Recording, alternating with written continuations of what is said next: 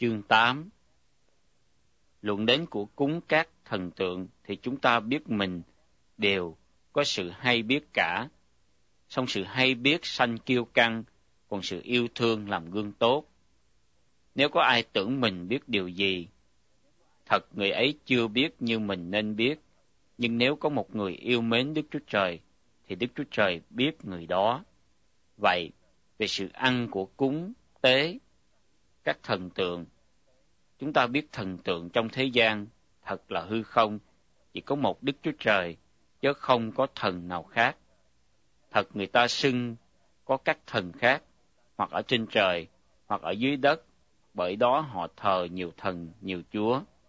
Về phần chúng ta chỉ có một Đức Chúa Trời mà thôi, là Đức Chúa Cha, muôn vật bởi Ngài mà ra, và chúng ta hướng về Ngài, lại chỉ có một Chúa mà thôi, là Đức Chúa Giêsu Christ, muôn vật đều nhờ Ngài mà có, và chúng ta cũng vậy. Nhưng chẳng phải mọi người đều có sự hay biết đó. Một đôi người vì nghĩ thường có thần tượng, nên khi ăn của cúng tế đó cho là của cúng tế thần tượng, thì lương tâm yếu đuối của họ bởi đó ra ô uế. Vả, ấy chẳng phải là đồ ăn làm cho chúng ta được đẹp lòng Đức Chúa Trời. Nếu chúng ta ăn, chẳng được ích gì, bằng không ăn cũng chẳng tổn gì. Nhưng hãy giữ lấy, kẻo sự tự do mình làm dịp cho kẻ yếu đuối vấp phạm, bởi vì nếu có kẻ lương tâm yếu đuối thấy người là người có sự hay biết ngồi ăn trong miếu tà thần, thì há chẳng cũng bắt chước mà ăn của cúng tế sao?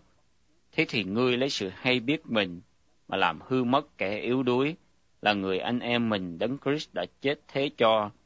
Khi nào mình phạm tội cùng anh em như vậy, làm cho lương tâm yếu đuối của họ bị thương, thì là phạm tội cùng đấng Christ.